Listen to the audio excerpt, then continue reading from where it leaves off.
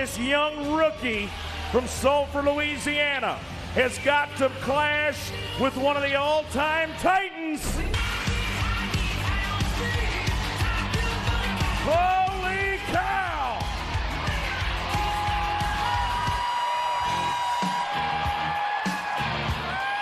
Come on, Cheyenne! Somebody talk to him!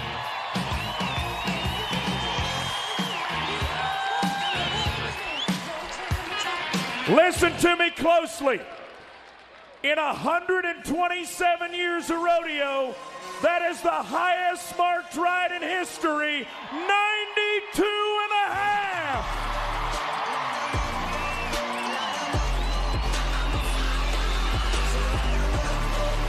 They're on their feet, Ryder Sanford. New arena record in show.